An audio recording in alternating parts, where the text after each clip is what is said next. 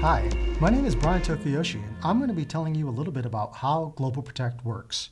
Now, you're probably already familiar about the next generation firewall.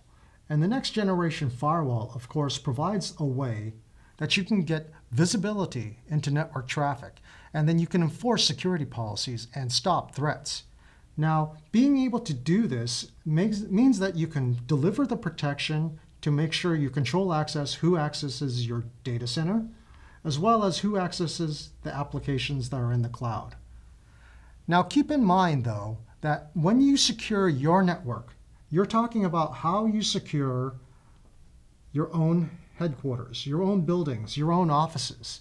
So being able to deliver this protection for your network is good.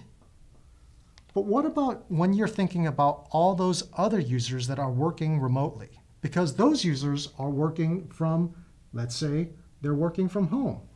Those users have their laptops, they're using their tablets, and they're using their mobile phones, and they're accessing business applications and data as well. So what happens when your users are using a network that you don't control?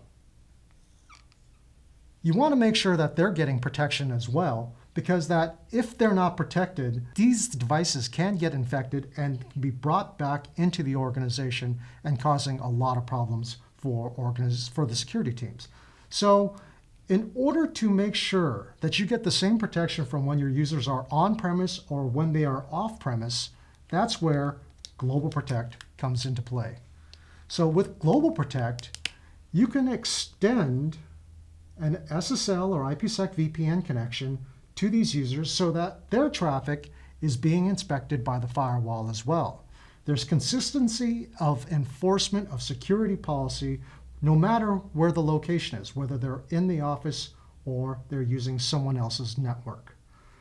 Being able to do this gives you all the threat protection of the next generation firewall, including URL filtering, being able to use file blocking, or using all the threat prevention capabilities that you're already familiar with. So let's talk about unknown threats. What about if you have files that are passing through the firewall? You want to inspect that content to make sure that there's not something that's a new piece of malware, a new threat that someone had not previously seen. So being able to send that file to Wildfire gives you the capability to understand that if there is a threat present in there, and should a new piece of malware be discovered, signatures are sent back to the firewall so that you get protection. Now, being able to apply this for the mobile workforce includes being able to look for malware in Android package files as well, the Android apps. Talking about mobile devices, let's add another component to this. What do you do about BYOD?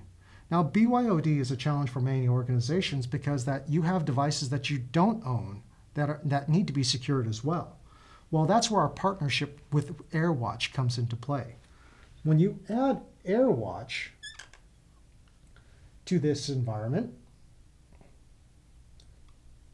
it gives you a couple of additional capabilities. The first being that when AirWatch manages mobile devices such as your smartphones and your tablets, that when these devices are enrolled in AirWatch, enterprise apps are loaded into this device, as well as the GlobalProtect app, so that the GlobalProtect app can be transparently installed and configured on behalf of your users. Now, depending on your security policy, you may want all the traffic from these mobile devices to be sent back to the firewall for inspection. But if you're dealing with BYOD, maybe you want to be more specific about which traffic that you're looking at. Being able to use an app level VPN allows you to inspect the traffic for specific enterprise apps that are loaded on those devices and have those apps, when they are being used, being inspected by the next generation firewall. Another aspect of this integration is that Wildfire shares its threat intelligence with the AirWatch environment. Being able to do this integration gives you the way to do malware detection on these mobile devices. Now think about it if a user brings a mobile device that's already infected with malware, what can you do about it? Well, AirWatch can inventory the device and find out what apps are installed on there. Now, comparing this with the intelligence that it gets from Wildfire on ma- malware for Android gives AirWatch the capability to detect the devices that are in an infected state. And it can kick off a workflow to either alert the user, alert the administrator, or do some type of action to correct or remediate the problem.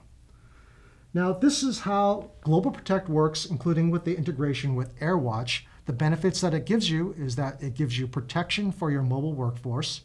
It gives you a secure connection from uh, the users wherever they may be located on whatever network they're using and bringing that traffic back to the next generation firewall. And it simplifies your environment as well because that it reduces the number of components that you need in your network architecture.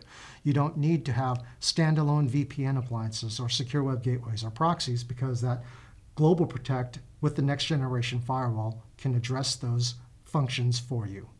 So that's it. If you're interested in more information about GlobalProtect, go to www.paloaltonetworks.com slash global protect.